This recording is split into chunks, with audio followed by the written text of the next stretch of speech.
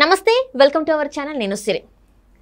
YCP ప్రభుత్వంది పరువు పోవద్దని చెప్పేసి జగన్ గారు సజ్జల సూచనల్ని పాటిస్తున్నట్టు తెలుస్తుంది. మాక్ పోలింగ్కి ఎమ్మెల్యేలు అంటే చాలా మంది హాజరు కాలేదు. నూట యాభై ఆరు మందిలో కనీసం డెబ్బై మంది కూడా హాజరు కాలేదు. అయితే ఈ పరిస్థితిని వివరించడానికి మనతో పాటు ఉన్నారు ప్రముఖ సీనియర్ జర్నలిస్ట్ దుర్గా కుమార్ గారు. నమస్కారం సార్. నమస్కారం మన వీక్షకులు కూడా నమస్కారం.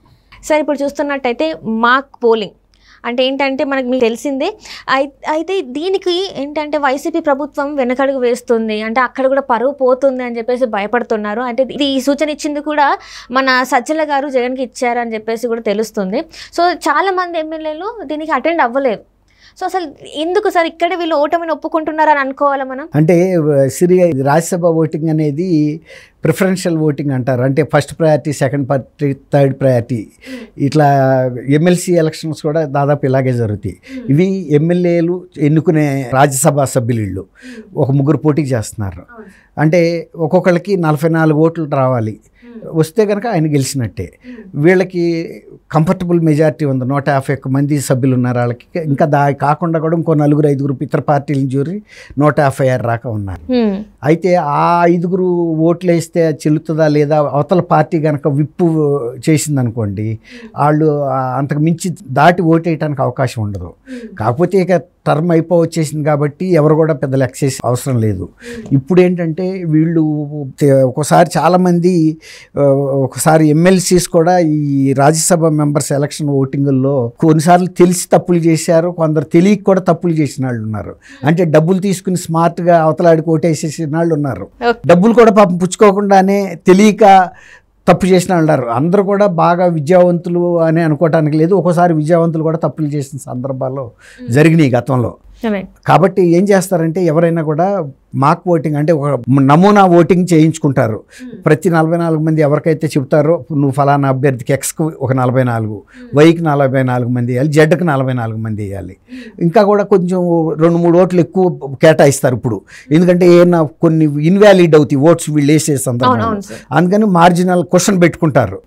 అట్లా పెట్టుకుని మాకు ఓటింగ్ పెడితే గతంలో జగన్మోహన్ రెడ్డి గారి పరిస్థితి ప్రకారం అయితే ఎమ్మెల్యేస్ ఎప్పుడు రమ్మన్నా భలే క్రమశిక్షణగా వచ్చి మనం చూసేవాళ్ళం కదా ఆయన ఇంట్లో ప్యాలెస్లో కానీ బయట మీటింగులు పెట్టినప్పుడు చాలా క్రమశిక్షణతో కూర్చున్న వాళ్ళు అందరూ ఎక్కడ కూడా కదలకుండా. అది ఎన్టీ రామారావు గారి టైంలోనే చూసాం జగన్మోహన్ రెడ్డి గారి టైంలోనే చూస్తున్నాం. అంత క్రమశిక్షణ. మరి ఎందుకు సార్ ఇప్పుడు అంత.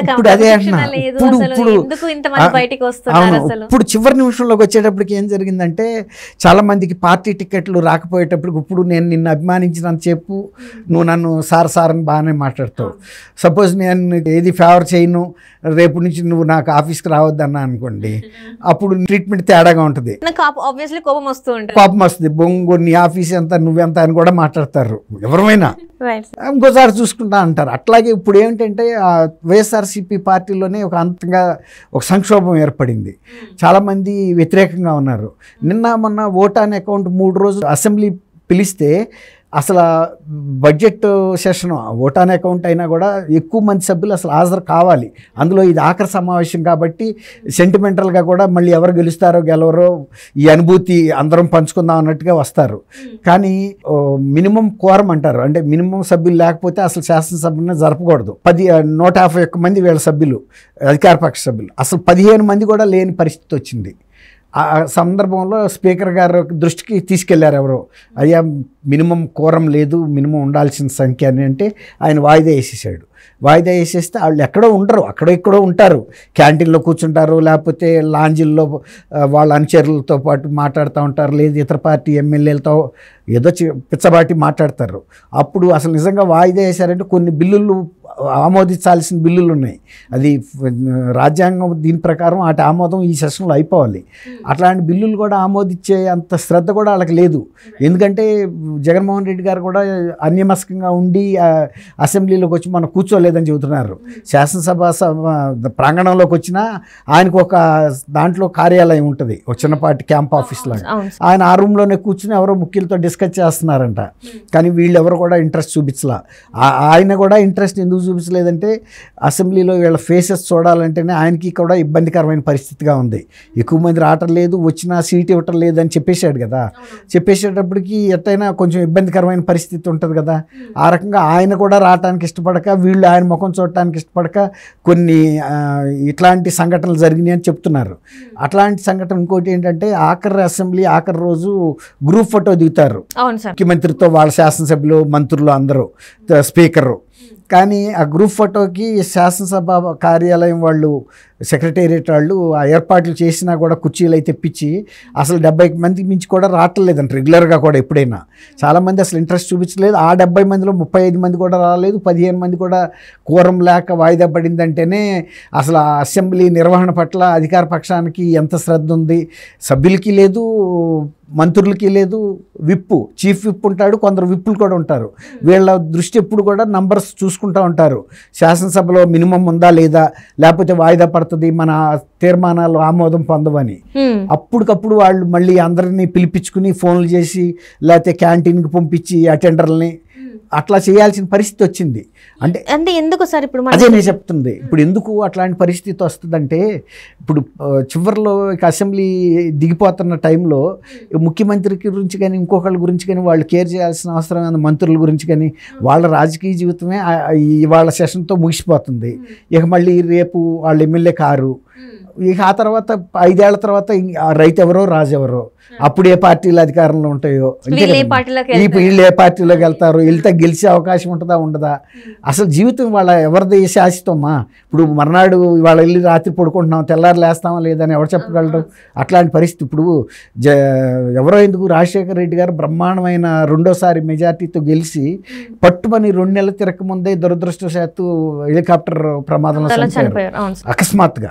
అట్లా అంత ఉంటే మళ్ళీ ఆయన మళ్ళీ ముఖ్యమంత్రి అయ్యేవాడు మళ్ళీ కూడా ముఖ్యమంత్రి అయ్యేవాడు ఉండేవాడు అసలు రాష్ట్ర ఆంధ్రప్రదేశ్ భవిష్యత్తే వేరేగా ఉండేది. ఇంకొక లెవెల్లో ఉండేది. అట్లా మరి దుస్సంఘటనలు జరుగుతూ ఉంటాయి దుర్ఘటనలు.